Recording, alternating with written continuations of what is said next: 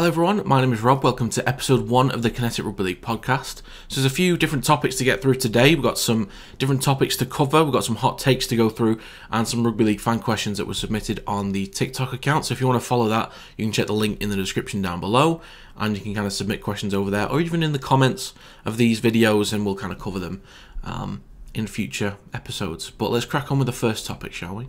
So the first topic I wanted to cover was Hull FC. Now I understand that this wave has kind of gone a little bit with everything that's going on, but there's always going to be changes with Hull FC, and it's a topic that obviously needs my it needs my input. So why not? So at this moment in time, Richie Myler has been brought in as the director of rugby. Tony Smith has now left, and there was an announcement this morning, or it might have been yesterday afternoon. I can't remember. Didn't get much sleep. Um, Gareth Ellis has been brought in as a development coach, or is helping to develop uh, in some way at Hull FC. So a few changes there. So I wanted to talk about potential replacements as a coach and players that they could look at to rebuild a spine. So if I'm in charge, what areas am I looking at? Who am I looking at? What's realistic? What's a little bit out there but has potential? So in terms of coaches, there are two that I've written down that I think, based on the pressure that they're under at the moment this season, could be without a job by the end of the year. The most likely I've got on this list is Rohan Smith. Because of the amount of pressure that he's under from Leeds fans and the expectations from Leeds as a club, just the up and down nature of this team over the last couple of years is not the level of stability or competitiveness that a lot of Leeds fans and probably Leeds as a club want. Granted, they have got a grand final appearance in there, and there are definitely times where they sort of peak and they have really consistent moments and they are usually competitive towards playoffs. Like they can start competing for playoffs, but they need some stability. They want to be back near the top, winning trophies. Rohan Smith isn't really providing that, so there's a chance that they move on. And with the dip in performance recently, I don't think he's going to go yet, but I think he's got a couple weeks and if the performances are lacking against midfield teams and even against bottom three teams, so right now that's Castleford Hull FC in London, especially Hull FC in London, but um, as of right now they haven't played Hull FC yet. That's tomorrow as a time of recording. Um, but he's under a lot of pressure, and I think he's most likely to lose his job next. He's up on the chopping block. The next most likely that I see after that is Paul Wellens. I've seen a lot of Saints fans call for him to be fired, especially after the Wire game in the Challenge Cup sem- uh, quarterfinals. I apologise. He's under a lot of pressure given the success that Saints have had over the last five years. The expectations are insane from Saints fans and Saints as a club. They have such high expectations, and the squad it's had some changes to it, but not so many that he's not inherited a grand final winning squad, a four time grand final winning squad. So he's in a pretty good position. But if he's not producing the trophies, there's a good chance he's out of there.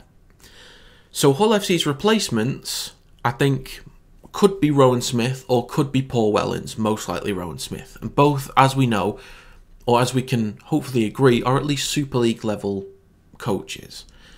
And, you know, Rohan Smith may want to go back to Australia. He might choose that.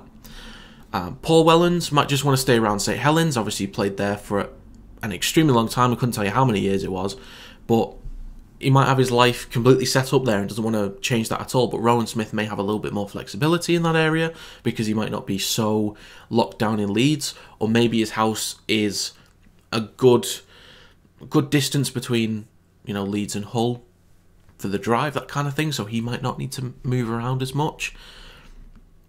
So it just depends on what the coaches want to do. But those two as an option are solid Super League coach options. That if anyone in the league needs a coach, they're a fair option to go with. You know, they're not doing a great, you know, particularly great job at their clubs right now based on their expectations, but would be decent options to go with so that's kind of the coaching route that I'd go down. I think Rohan Smith would do. He'd do fine at Hull FC, at least try and turn things around.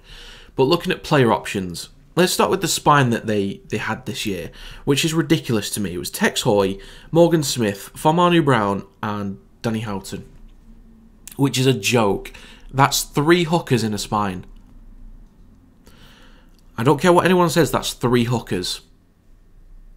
You ain't going to do anything with that. Morgan Smith is not a Super League halfback. Maybe a Championship halfback, but he's not a Super League halfback. As a hooker, fine. Fa'amanu Brown is not a Super League halfback. He's a hooker. He's an in, he's a New Zealand international hooker. So why is he being wasted at seven? If anyone watched the Pacific Championships and saw Fa'amanu Brown, they would have seen a very enthusiastic, energetic, pacey, dangerous player that really competed extremely well against two strong Pacific Island nations in Samoa and Australia. I almost forgot, but it was Australia was the other one. So he competed extremely well against Samoa and Australia at number nine, and now we're going to put him in at number seven because we think that anyone from Australia can just adjust. Like the two players that come to mind that I know can play halfback and hooker, Rob Burrow because he was one and then became a hooker, but then Michael Monaghan at Warrington could do both, but typically played as a hooker, but could play seven if needed. So he's not Michael Monaghan and he's not Rob Burrow. But he doesn't need to be because he's a great number nine and you're just wasting him. Now, granted, Jake Trueman um, is still injured at the moment, has been for a very long time, and maybe he would have been a difference maker at this point. But based on what you've got available,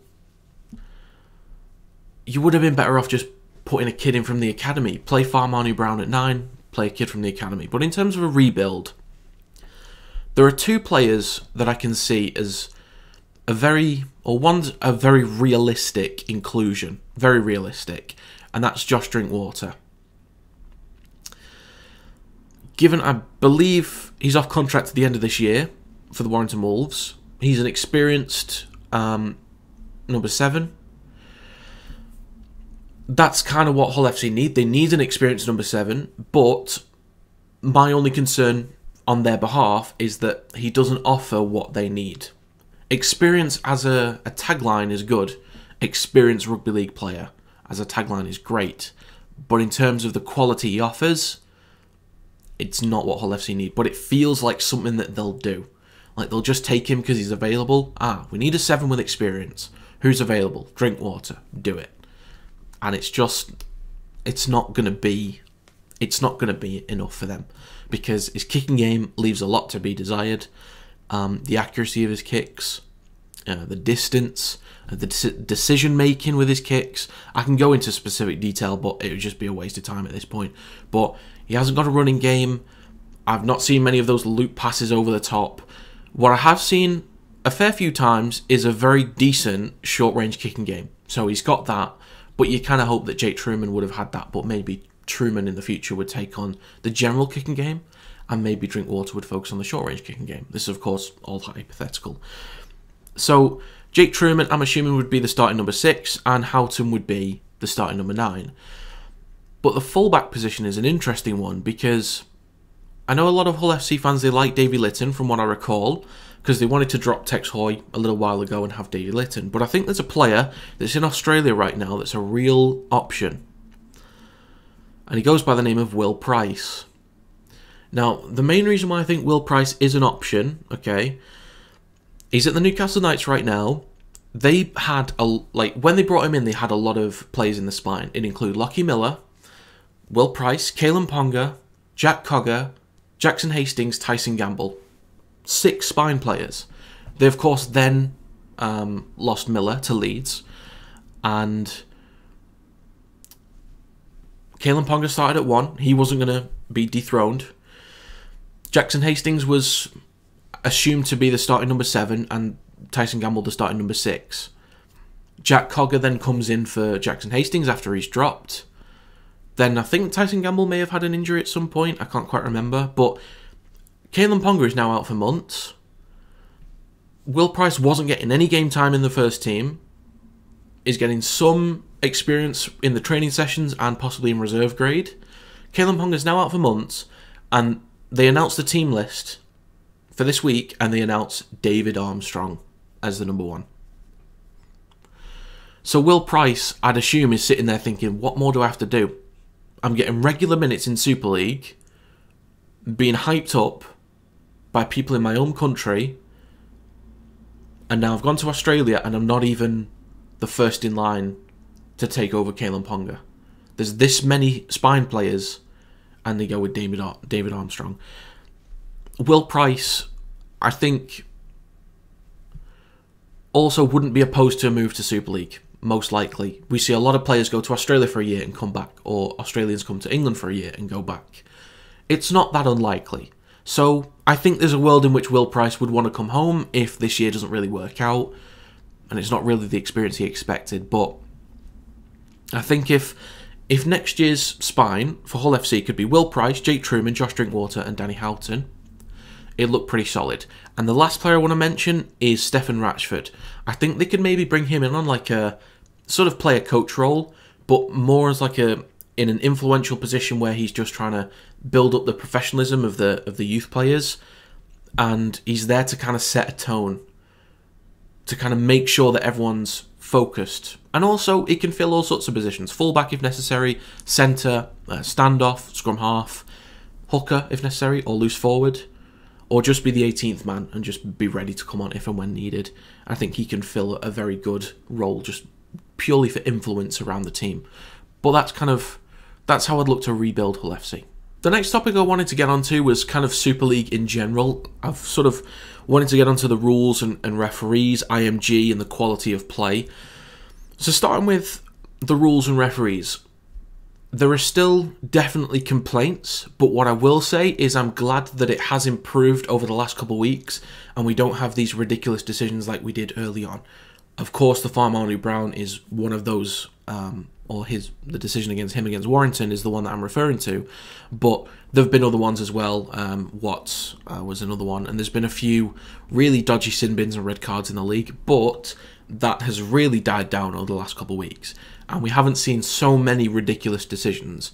I feel in some areas they have been consistent. Now, since that uh, rule change or the wording change, there has been a decent level of consistency in kind of the, the high tackle area. Some of it is a little bit questionable because we understood that any contact with the head that looks intentional, you know, is a sin bin straight away. I am glad that that's died down and there are less players being given sin bins, but still, sometimes the application it's a little bit too subjective from time to time, but again, I am glad that we've had less sin bins. So it's it's still not perfect, but it is definitely better than the awful, awful decisions that we had in the first three or four weeks. So I'd I'd like to think that we can all agree that that wave of stupidity has now passed. We are in a a smaller wave of stupidity with some of the decisions that are made, but less than this tsunami that we had in the first few weeks. So that's definitely an improvement. Um, the one thing that I noticed that referees have been consistent on is incorrect play the balls. Like it's the player's responsibility as soon as they've put the ball down to to uh, roll it back. If they lose balance, unless they're dragged down, but if they lose balance themselves and don't have full control, that's an incorrect play the ball. That's the one thing that I've pretty much seen all refs very consistent on. So that's something. Um, it is funny though. Sometimes I think we need to be careful with the kind of abuse that we give to referees. I understand that. Look, if you think that a certain ref is a supporter of a certain club, I, I get it. I absolutely get it. Um, but there are some moments. I remember it was Wigan were away against Leigh. Bevan French went in for the second try of the game, and there was a you know it was a an unsure moment, so the video ref sent it up uh, so the referee sent it up to the video ref, but he sent it up as a try.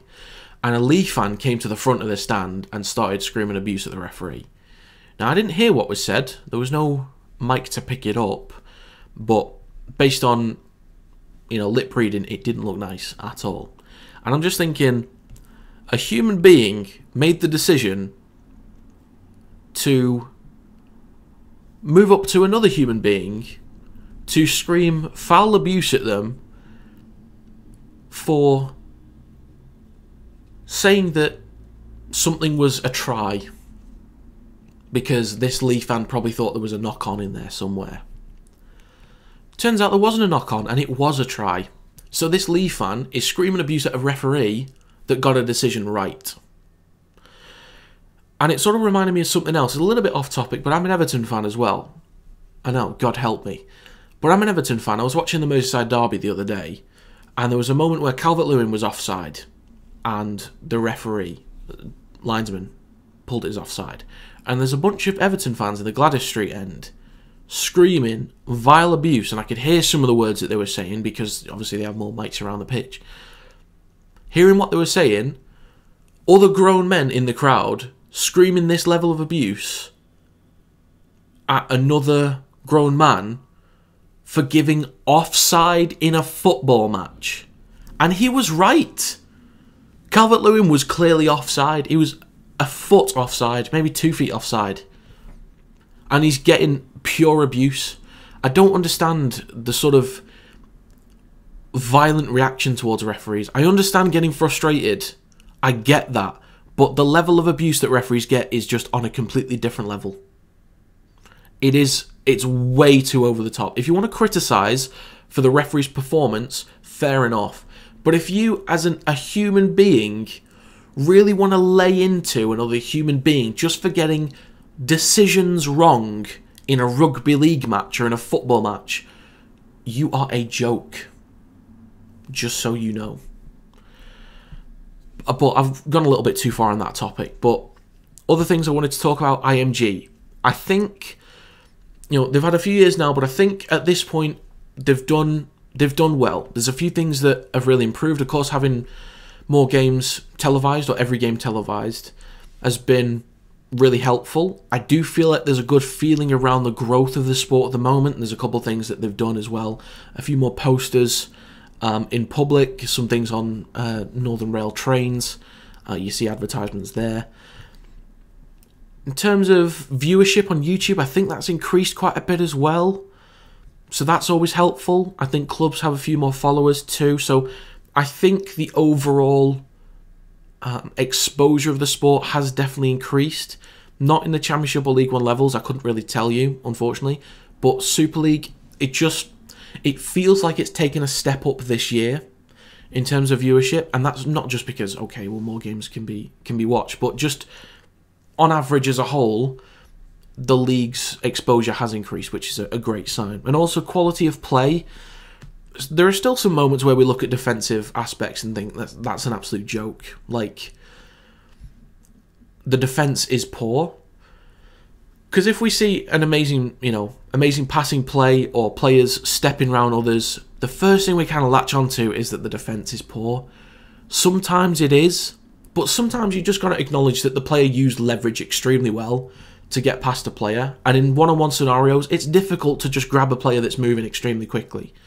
Like, I understand that you'd need a lot of training, but do you think that you could just grab Bevan French if he's quickly stepping left and right? You think you can just touch him and then make sure that you hold him? He'd get away. There's a good chance that he'd, he'd get away, but um,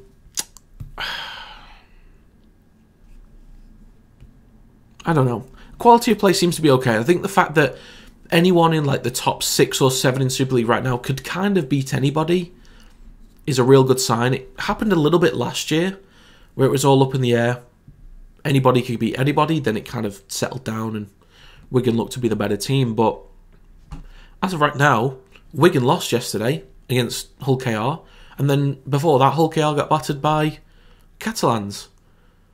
So, uh, Catalans beat Saints. Saints got beat by Warrington. Warrington got beat by Catalans it's just it's all up in the air at the moment. So who knows? But the quality of play I think has certainly improved, and I would definitely like to see, of course, improvements on the side of London Broncos. I think by the end of the year, hopefully they will have picked up a win, and that'll give them some kind of, um, you know, that'll be some kind of reward for the efforts. If they got it on the last last week of the season, that would probably feel feel incredible. But yeah, just in terms of the rules, referees, IMG quality of play, that's my thoughts at the moment. But yeah, let me know how you think everything's going at the moment. The next topic I wanted to get onto is the Championship and League One. Now, I don't know too much about it, but I wanted to talk a little bit about restructure. And it's more of a question, really, because I don't know what the answer is down there. I don't have a clue what the answer is. Maybe you guys know, because if you watch the Championship and League One more, what's the answer got to be? Do they all need to merge into one group? Does there need to be less teams in the Championship, more teams in the Championship? Do we need to start promoting uh, NCL teams up into League One? You know, do we need to start doing that in order to, you know, have more teams in there, give them more game experience? You know, what what needs to be done in the Championship and League One? So that's more of a, a question to you guys. If you guys have an answer, I'd, I'd love to hear it. But one of my biggest concerns, and I'll incorporate Super League into this, one of my biggest concerns is that's never talked about enough. Sometimes you'll see a post on Facebook from a, a rugby league group, or something on Reddit, or something on X slash Twitter, asking what should we do with the championship in League One, and there's very rarely any options that are put forward. It's just this many teams in this league, this many teams in this league, or just merge them together. Or when, you know, people ask for a restructuring of Super League, how would you want it to be? And the, the general consensus for what fans want for Super League is 14 teams, top 8 makes playoffs, you play each team twice, remove loop fixtures, and or some might still say top six playoffs, but top eight in most cases, and bottom two go down. I think is what people say, and then that's automatic promotion for first place in the championship, and then a playoffs for second place. And I completely agree with that. But then it never really focuses on the championship and, and League One. And what we've got to keep in mind in this country, because we don't have that enthusiasm around rugby league as Australia does, we need to do more for Championship and League One. We need to do a lot more. And I'm going to kind of get onto that a little bit into like hot takes in the fan uh, rugby league fan questions segment about what my sort of hot take is on that. But I think if we're going to really grow the entire sport, we need a strong championship to the point that anyone can come in, not just Wakefield for next year, that anyone can come in and put in a good fight. And that anyone from League One can move up, and not just Oldham, even though given the investment, which is great, can go into the Championship and put up a good fight. So that the teams that aren't usually in that league can stay in that league for a couple of years. You know, that was the issue with Leigh. You know, they, they managed to come up, I think it was 2015. They were like undefeated for 40 odd games, I think. It was something like that for 40 odd games, come up to Super League. Or was it the challenge? It might have been the Challenge Cup. They lost to Warrington in the Challenge Cup quarterfinals. That was it. Um, but they eventually come up and then they go straight back down. But now they've had more investment, better Super League level team, and managed to stay up and perform extremely well at the same time. You know, Challenge Cup winners in the first season and playoff a playoff team. So we need more like that, but more needs to be done for the rest of the championship and the rest of League One in order to boost them up. Um, I think I have an answer for that. It's very very radical, um, but pretty sure nobody's going to like it. But we'll we'll move on to the next section. So now we're moving on to hot takes and fans' questions. So these were submitted on the TikTok page. So if you click the link in the description down below, you can go there, and if I ask for more questions, you can submit them there. But the first one to go through is from Jacob. He said that Cam Smith is the best loose forward in the league. Now that's an interesting one because I think there are some some great ones in there. I'm a huge fan of Benjamin Garcia. I'm a massive fan of him. What an incredible leader because the meters he makes, the post contact meters, the tackles, the offloads, is insane. Especially the, his stats for France during the, the Rugby League World Cup as well were incredible. I think he's a great leader. And if you, you know, a lot of teams, they kind of need a culture change. And there are a good few number 13s in the league that could really help with that. And if you need a captain to kind of come in, my God, Benjamin Garcia for me is like, is one of the best to bring in. If you need a change in culture, get Benjamin Garcia because I think he'd be brilliant. So that's gone off topic a little bit, but Cameron Smith, best loose in the league. I would certainly say top five. I don't think that's a ridiculous shout because who else are you comparing him to? You've got Joe Westerman, Ben Curry, Um, Benjamin Garcia, as I said, Morgan Knowles. It's not the most ridiculous shout. I don't think it's that insane of a statement because there isn't one loose forward in the league that stands out to me so clearly above the rest. So I don't find that a mental statement. I think that that's. If you're a Leeds fan, that's fine, that's understandable. And I, as a Wire fan, will praise Ben Curry and say that, oh, look at this guy. Give him some love. But it's not the wildest take in the world. But the next one is from Josh. He's asked, what's your opinion on Salford Red Devils? Salford's an interesting one because financially, they've had their good moments. Financially, they've had their bad moments. And they're in a real tricky spot right now. And, you know, they've had to offload really key players. I will say from last season, this is kind of a hot take from me, I reckon. All teams from last season at their attacking best, on their best day, the Salford Red Devils were the most exciting and effective attacking team at their best. So consistency wise, obviously they weren't. It was Wigan, or was it St Helens that had more points? Doesn't matter. But if everyone was at their best every week, Salford would have been the best attacking team. They were so fun to watch, so fun to watch. And this year, you know, they had some adjustments to make, but I think they're a real strong team. There's a decent culture around the squad. I think they're always going to be competitive week in, week out, even against the top teams. Should usually be competitive against the bottom three teams, although against Castleford and, and London so far, it's been it's been a bit off. But the Salford Red Devils are, for me, are a staple of Super League, and I think will remain to be so for an extremely long time. They've got their issues financially, but I think you know if IMG can keep you know propping up this league a bit more the revenue can pick up, they can be a bit more financially stable. But I've never had any issues with Salford. No issues with the fans, no issues with the club, any players. They just feel like a staple of Super League, and I'm just glad that they're part of the league. The next one from probably not George Williams. Um, two questions. Is George Williams best player for Wire this season so far? And also thoughts on Warrington putting up a bid for Jordan Abdull for a permanent move? Great questions. Is Jordan Williams best player for Wire so far this season? Almost. Almost. He's just under Matt Dufty. For me, he's just under. But the last couple of weeks, he's been closing that gap. Now, the first few weeks, it was Matt Dufty obviously sort of running away with it. And Williams had been out for two weeks so far this season with injuries. But in the last few weeks, he's been closing that gap to Matt Dufty. His short range kicking game has been world class. His ability to break the line has been fantastic. He's been taking on the line and causing a lot of issues. His decision making has been really, really good. His general play kicking game is still absolutely atrocious, unfortunately, but short range kicking and just everything else, his passing, footwork, has been exceptional. But for me, Matt Dufty has just offered a little bit more, but he's had two extra weeks compared to Williams. So I think by the end of the season, there's a good chance that if Williams stays on the form that he's on, that he's going to cause a lot more teams a lot more problems. Um, the second question: thoughts on putting up a bid for Jordan Abdull? I think this is perfect, and this speaking as a Wire fan.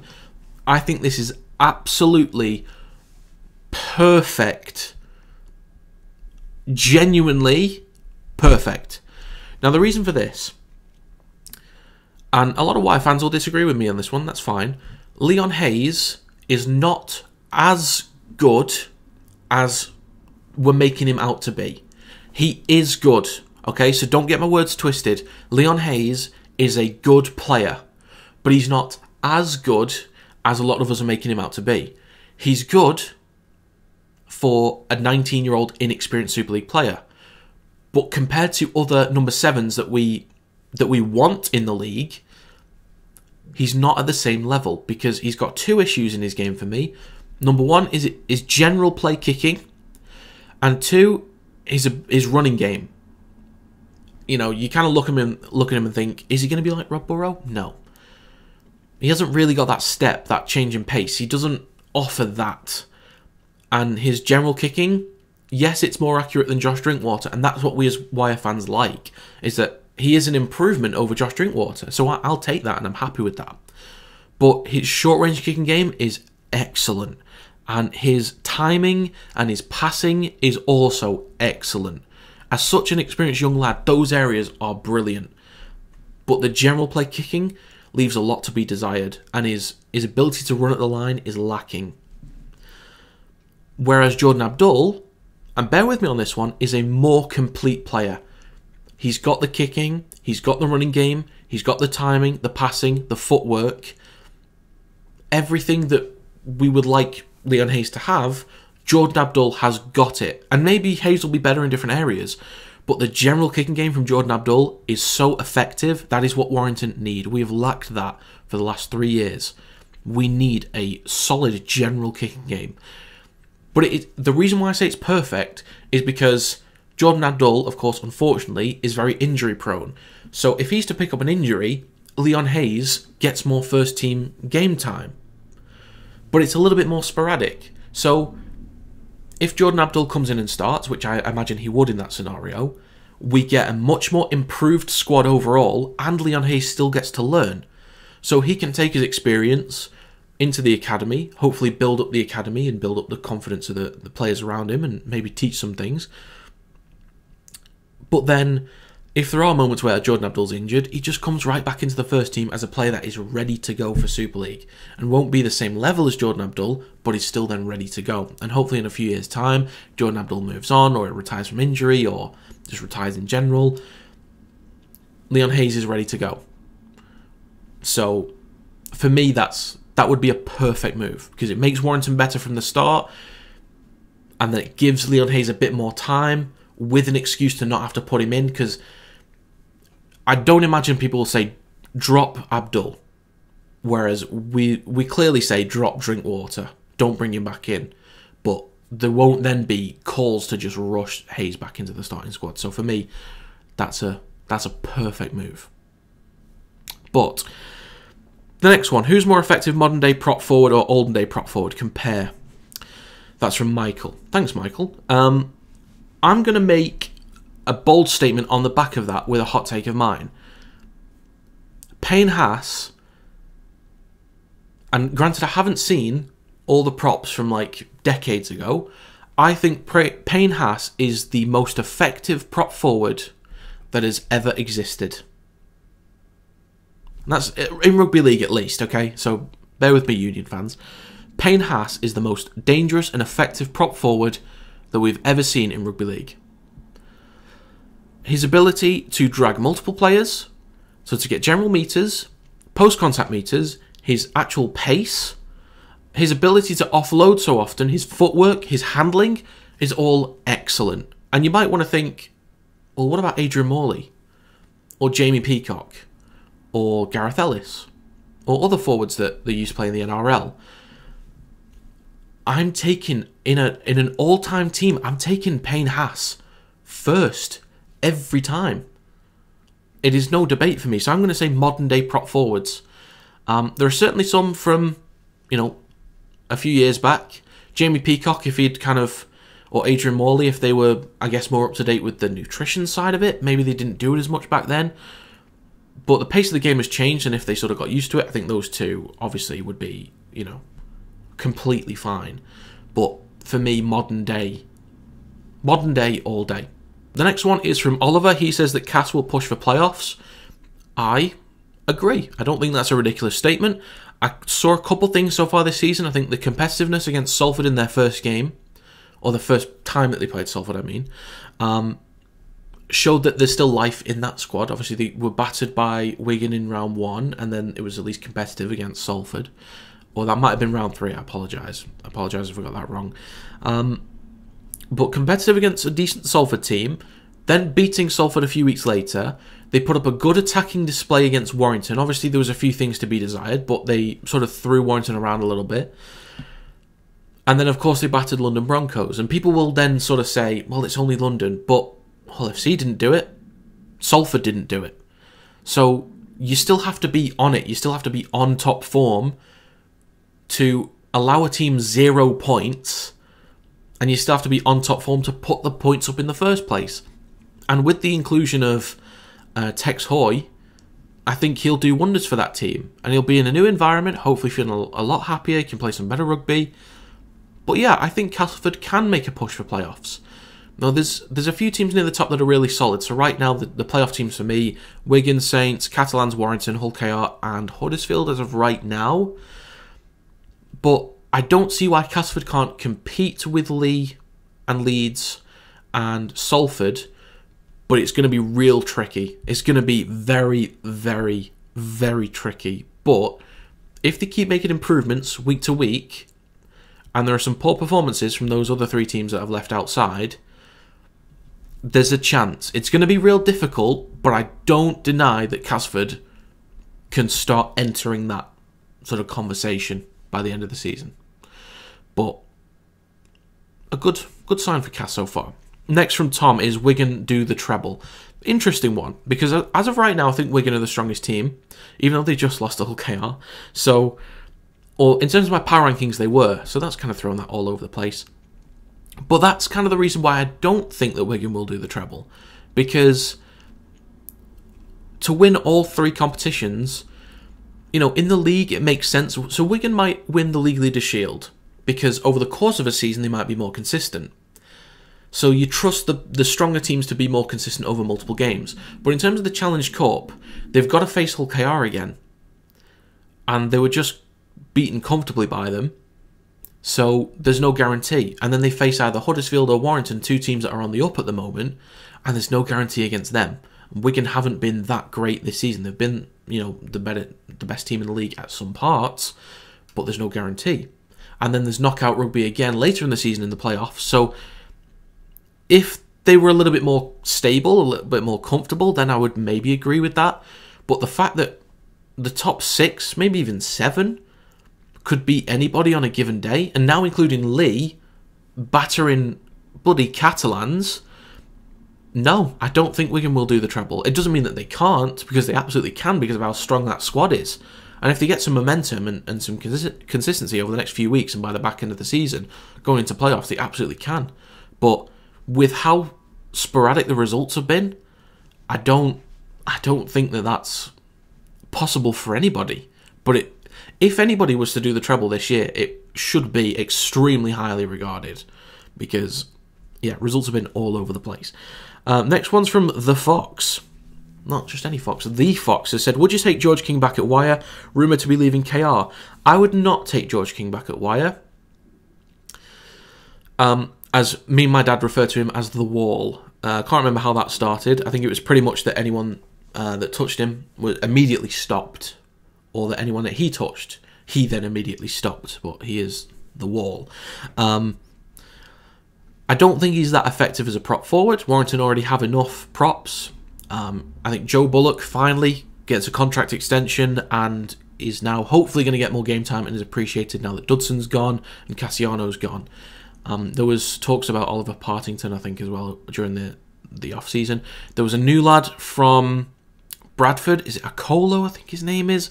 Not too sure, but recently brought in one from Bradford. Then we have Max Wood, who I think is excellent, absolutely incredible. For 19 years old, doesn't actually look that big, but he's dragging multiple players when he gets those carries. And his debut game at home, can't remember who it was against, but he had maybe five, six, or seven carries, made post contact meters every time. So that was that was fantastic. But George King, I don't think really fits in, unfortunately. Um, next one is from Josh again. Hot take: Oliver Partington is one of the best lock slash loose forwards in the league. Again, possible. I don't think there's a a defining thirteen. I think they're all sort of in the mix. And again, I'll sort of say, look, Ben Currie with more regular minutes at 13, like when he's back from his injury, more regular minutes at 13, I think people will start to think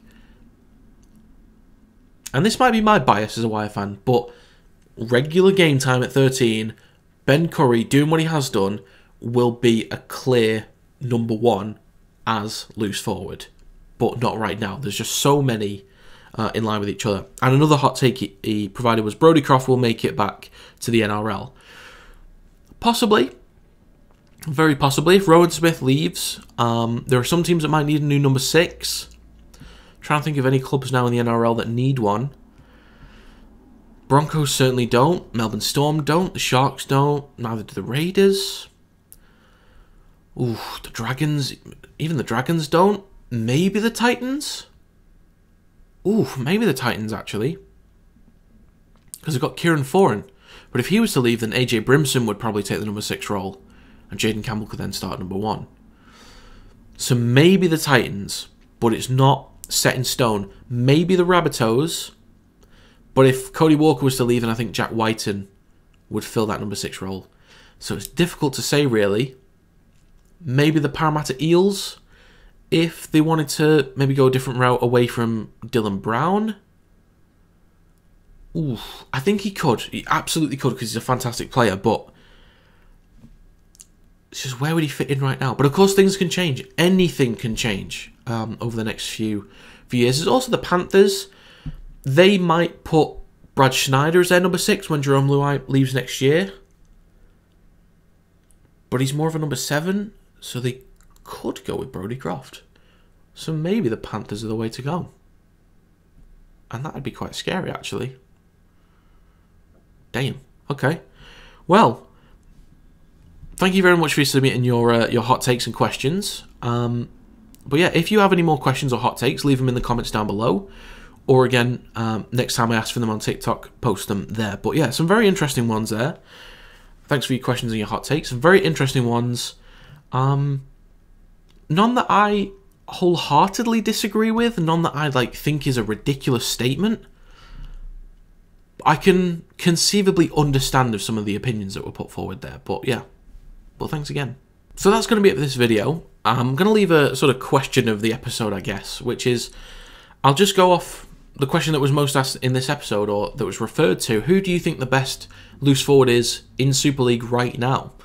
Um, is there a clear one for you? Does it make complete sense that this is the go to guy, or is it too close for you to say? Let me know in the comments down below. But that is going to be it. If you have any opinions on anything I've said, have I been um, unfair towards anything? Have I been fair? Just let me know your opinions on these topics in general, or if there's anything you want to ask me or want me to cover on the next episode, just go ahead and ask. But again, thanks very much for watching, and I'll see you next time.